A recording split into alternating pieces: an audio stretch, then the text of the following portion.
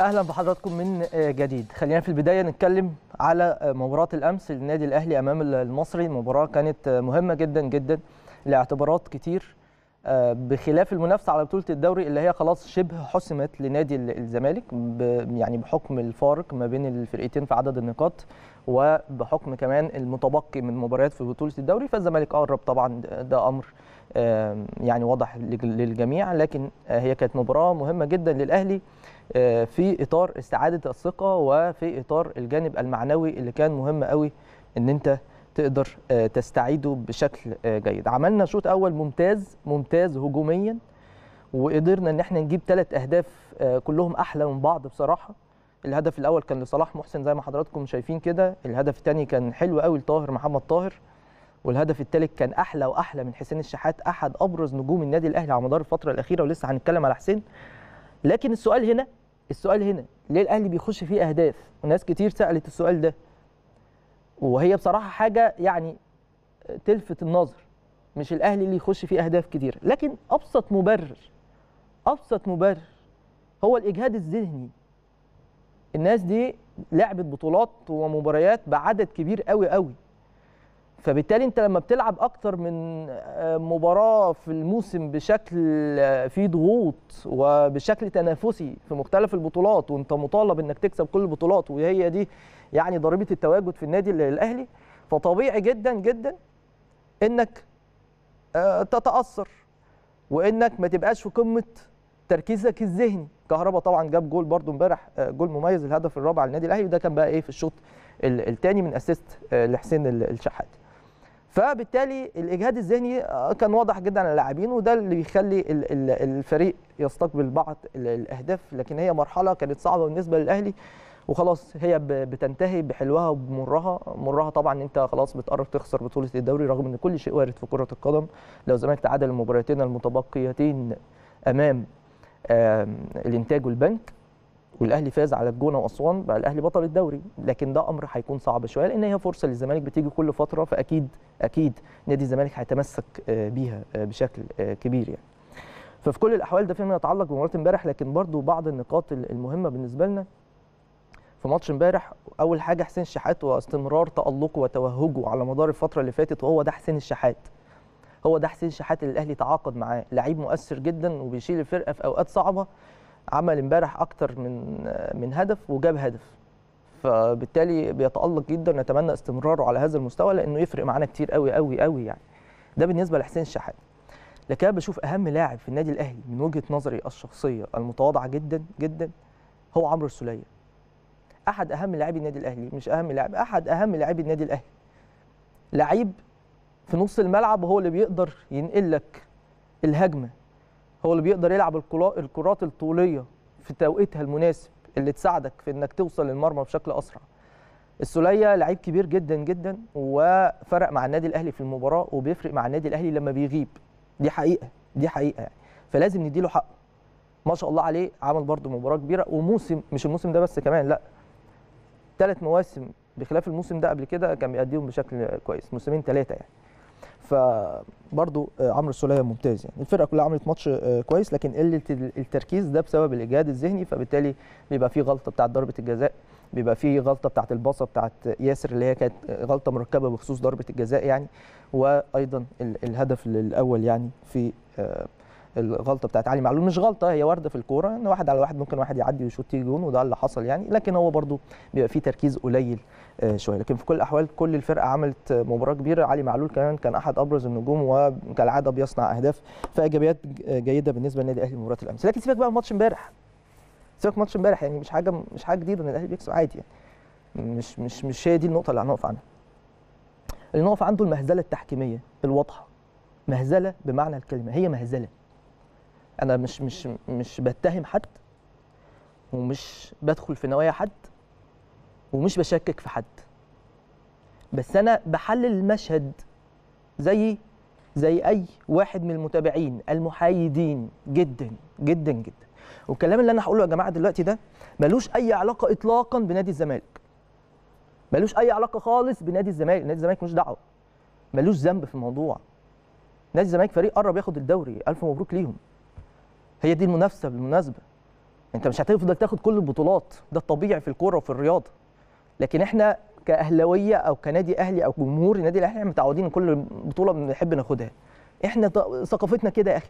إحنا بنحب كده فبنزعل قوي حاسين إن في حاجة غريبة في وضع غريب بالنسبة لنا إن إحنا بطولة بنخسرها. خصوصا في الفترة الأخيرة دي إحنا ما شاء الله واخدين كل البطولات.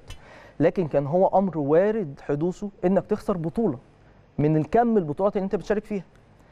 فبالتالي اللي أنا هقوله ده مش بطلع مبرر لأن جمهور الأهلي مش زعلان أساسا. جمهور الأهلي مقدر جدا جدا مجهود اللعيبة والجهاز الفني على مدار المراحل اللي فاتت كلها وعلى كم البطولات اللي جابوها. وعارف كويس قوي إن اللعيبة دي رجالة وعارف كويس قوي إن الجهاز الفني ده جهاز ممتاز ومحترم. الأرقام والبطولات هي اللي بتقول كده والإنجازات. ده ما حدش يختلف عليه. اللي هقوله لك ده مش مبرر ها؟ أو مش دفاع عن اللعيبة والجهاز الفني لا هم مش محتاجين دفاع. بطولاتهم هي اللي بتدافع عنهم.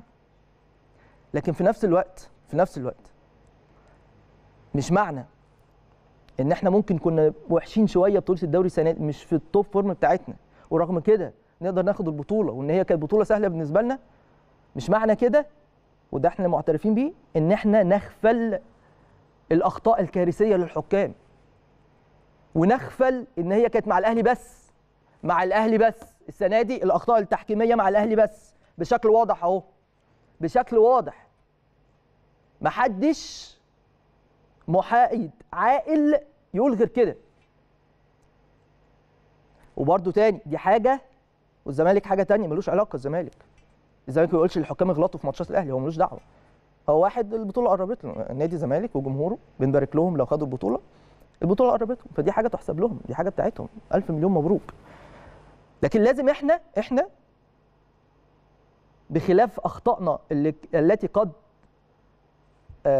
من الوارد أنها قد حدثت على مدار البطولة دي على على مدار بطولة الدوري إن إحنا لازم نتكلم على التحكيم لأن دي حاجة كانت ملموسة جدا.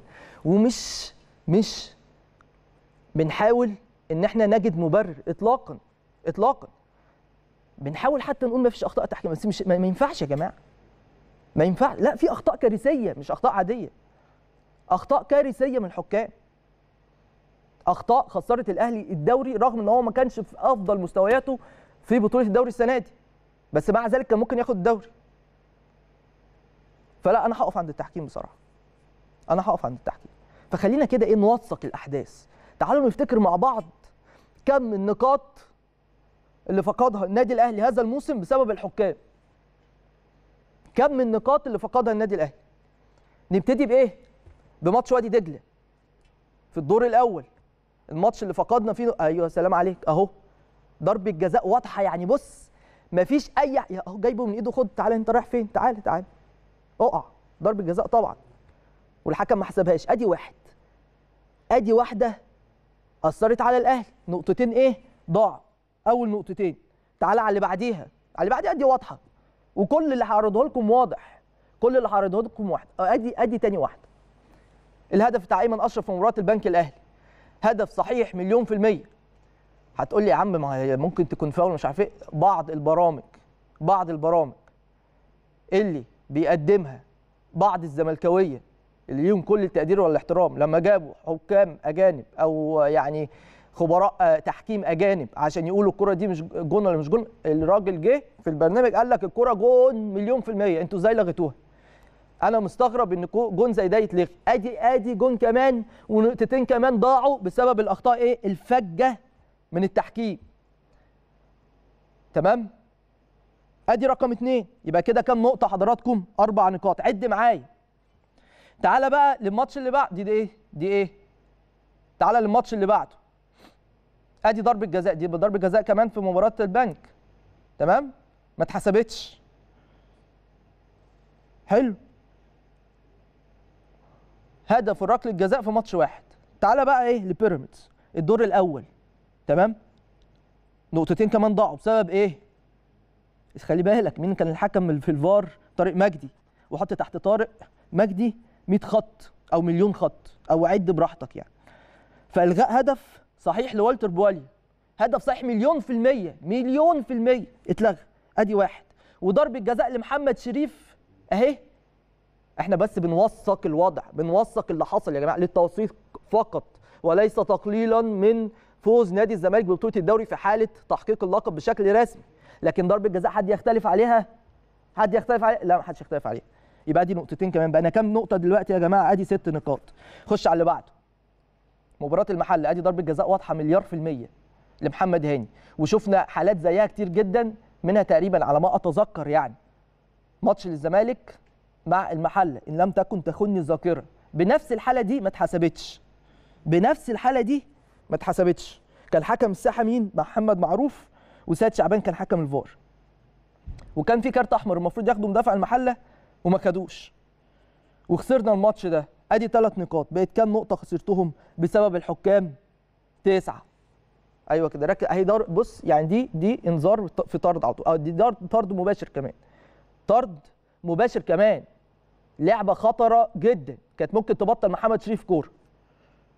تعالى بقى على الماتش اللي بعده. ماتش الزمالك أو الحالة اللي بعديها. ركلة جزاء أهي واضحة بالصورة. شايفين الدورية دي؟ أهي. آه، لاعب الزمالك أعتقد ده فتوح. رجله على انكل مين؟ رامي ربيعة. ضربة جزاء واضحة وضوح الشمس. كانت تفرق برضو مع الأهلي والماتش ده الأهلي تعادل فيه واحد واحد. وأدي نقطتين كمان راحوا بقينا كام نقطة؟ 11 نقطة. اللي بعده الإسماعيلي. ضربة جزاء اجاييه محمد الحنفي خلي بالك. محمد الحنفي كان حكم ساحة. أنا بقول لك كده بس تاخد بالك في اللي جاي. ماشي ومحمود عاشور كان حكم فار ضربة جزاء واضحة الاجاييه ما اتحسبتش. أدي نقطتين كمان راحوا. كده كام نقطة راحوا وصلنا ل 11 بقينا 13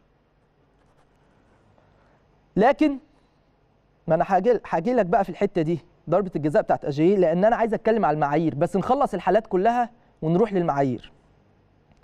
تعالى بقى في الماتش اللي بعده اللي هو الماتش اللي قبل الأخير للنادي الأهلي اللي هو الهدف والخطأ التحكيمي الكارثي. هدف واضح وضوح الشمس. كرة جون جوه الجون.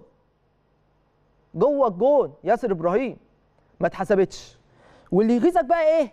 اللي يغيظك إيه؟ إن ما حدش كلف خاطره إن هو يبص على الحالة في الفار. لكن لو حاجة على الأهلي ها؟ نقعد فيها سبع أو ثمان دقائق و10 دقائق وممكن نخلص الشوط الأول كله بنراجع الحالة. يمكن يا رب تطلع ضربة جزاء على الأهلي. يمكن. أو تطلع هدف على الأهلي. يمكن. أي حاجة ضد الأهلي خد فيها وقت. لكن لصالح الأهلي هم خمس عشر ثواني بالكتير. مش جول مع إن هي حالة تستحق المراجعة مرة واثنين وعشرة لأن هي جوه الجول هي هدف صحيح مليون في المية. كان الحكم إبراهيم نور الدين وايه والفار كان محمود بسيوني. كده يبقى إحنا فقدنا 15 نقطة. 15 نقطة كانت كفيلة بحسم النادي الأهلي بطولة الدوري بشكل مبكر. صح ولا لأ؟ مش بقلل برضو من أي إنجاز لأي نادي تاني. برضو عشان كان واضح إن ناس واقعية ومنطقية جدا. تمام؟ ادي فيما يتعلق بالتحكيم. لكن تعالى بقى امبارح ضربة جزاء للزمالك بغض النظر هي صحيحة ولا خاطئة أنا بتكلم على المعيار اللي من خلاله اللي من خلاله بتاخد قرارك. ضربة جزاء لنادي الزمالك اتحسبت في مباراة سيراميكا للأسف ما عنديش الحقوق عشان اجيبها لحضراتكم في مباراة سيراميكا. هي هي نسخة طبق الأصل اللي ما شافش مباراة كأنك شفت كرة اجاي في ماتش الإسماعيلي اللي ما اتحسبتش. هي بالظبط ادي كرة اجاي أهي. امبارح لنادي الزمالك. هي هي. والكرة اتلعبت. والولد أعتقد زيزو اللي كان في اللعبة اتعرقل ورجعوا للفار. وقعدوا في الفار بقى كام دقيقة. أعتقد وصلوا للست سبع دقائق مستريح. مش بشكك في حد. أنا بقول وقائع. مش بتهكم على حد. أنا بقول وقائع. حلو حلو. هي هي الكوره ليه اتحسبت هنا وما اتحسبتش هنا؟ يعني اشمعنى؟ اشمعنى؟ إيه الفرق؟ ما هو المعيار واحد. المعيار واحد. كان مين حكم الفيديو في ماتش الزمالك؟ كان مين يا جماعة؟ طارق مجدي. ها؟ هو هو طارق مجدي اللي لغى على النادي الأهلي هدف وهو في الفار. ها؟ هدف في آه، مباراة البنك وأيضا ضربة جزاء. أو في مباراه بيراميدز بالتحديد يعني. فأنا في ازدواجية في الحقيقة في المعايير واضحة جدا جدا عند الحكام وفي تعنت أنا حاسس إن في تعنت. مقصود بقى غير مقصود دي ما أقدرش أتدخل فيها وما أقدرش أتهم حد فيها وما أقدرش أدخل في النوايا خالص. أنا بخلي بالي كويس جدا من من كلام فأنا مستغرب مستغرب قوي قوي أكتر موسم النادي الأهلي ظلم فيه تحكيميا هو الموسم ده. واللي أدى لهزيمة النادي الأهلي أو خسارته لبطوله الدوري لسه مش بشكل رسمي حتى الآن لكن خلاص على أعتاب فقدان آه، بطولة الدوري. لكن الأهلي لما بيخسر دوري بيخسر دوري عشان يكسب 6 7 ده اللي إحنا متعودين عليه بالنسبة للنادي الأهلي. نتمنى دايما التوفيق لل- للنادي الأهلي. لكن بقى في نفس الوقت اللي يستفز الواحد اللي يستفز الواحد وهو بيان في عدم تحمل للمسؤولية على الإطلاق. مش موجودة المسؤولية مش موجودة. ال- التفكير مش موجود. أو الذكاء أو في ذكاء بس خانهم الذكاء خانهم. أنا بحاول ألتقي تعبيراتي وألفاظي يعني في الحقيقة. لما طلع قال لك إيه اتحاد الكره وبعد ماتش طلائع الجيش اللي كان فيه هدف واضح وضوح الشمس النادي الأهلي ما اتحسبش. طلع قال لك إيه؟ بص بقى الاستفزاز. في ظل الاحترام الذي يلقاها التحكيم المصري يا ريت يا جماعة تعرضوا لنا. أيوه كده. بص بقى البيان ده. اللي هو يعني بايه عارف لما حد يقول لك اتفلق يا راجل اسكت أحسن. اسكت أحسن. بدل ما تتكلم. في ظل الاحترام الذي يلقاه التحكيم المصري دوليا أربعة أطقم تحكيم في البطولات العربية والأفريقية خلال أسبوع واحد. يا سلام! لا بجد. يا ده إحنا عندنا حكام جامدين قوي ده إحنا عندنا حكام تقال قوي إحنا عندنا حكام ما شاء الله عليهم شاطرين قوي طب بأمارة إيه؟ ده الناس مش عارفين اللي فيها. ده الناس ما بيتفرجوش على الدوري المصري. اللي بيختاروا الحكام المصريين أنا على فكرة برضو برضو ده مش تشكيك في قدرات الحكام المصريين لكن هي إمكانياتهم كده. هي إمكانياتهم كده. عندنا حكم واحد أو اتنين بالكتير هم اللي كويسين. أبرزهم محمود البنا. ما حدش يقدر يختلف عليه. خالص. مع إن هو وارد إن هو يغلط. لكن في نفس الوقت أنا بشوف إن ده استفزاز لجمهور الأهلي لأن البيان طالع في توقيت بعد مباراة طلائع الجيش مباشرة اللي كان فيها هدف واضح للنادي الأهلي. طب خلاص بلاش الصيغة حتى دي. يا راجل حاول تمتص غضب الجماهير. يا راجل ما تحسسش إن أنت بتقول للجمهور أنا متعمد. أنا متعمد أقول لكم أنا أنا كده كويس وأنا كده جامد يعني. فحاجات غريبة جدا بنشوفها بصراحة من الحكام في الدوري المصري. وفي الوقت اللي كل الحكام أو كل اللجان التحكيمية في القارة الأفريقية بالتحديد الاتحاد الأفريقي لكرة القدم بنشوف تطور ملحوظ في الحكام. مفيش أخطاء كتيرة زي زمان. ها؟ إحنا بنرجع لورا. الناس تطلع لقدام تحكيميا وإحنا اللي بنرجع لورا. حاجة تحزن حاجة تحزن إن إحنا نفسنا مستوى التحكيم يبقى في قمة قمة ال- التحكيم الأفريقي يعني. فدي من ضمن ال- الأمور المهمة. مش معنى كلامي مش معنى كلامي إن أنا بقول إن الحكام هم السبب في هزيمة الأهلي طول الدوري. لا هم سبب رئيسي لكن في أسباب تانية. ممكن يكون عندنا بعض الأخطاء وإحنا بنعترف جدا جدا في النادي الأهلي لو عندنا أخطاء. عشان نتطور ونصحح من نفسنا أو نصلح من نفسنا ونوصل للأهداف اللي إحنا عايزينها. ده فيما يتعلق بالجانب ال- التحكيمي ومباراة الأمس ما بين الأهلي والمصري هنروح لفاصل سريع بعدين نرجع نكمل. استنونا.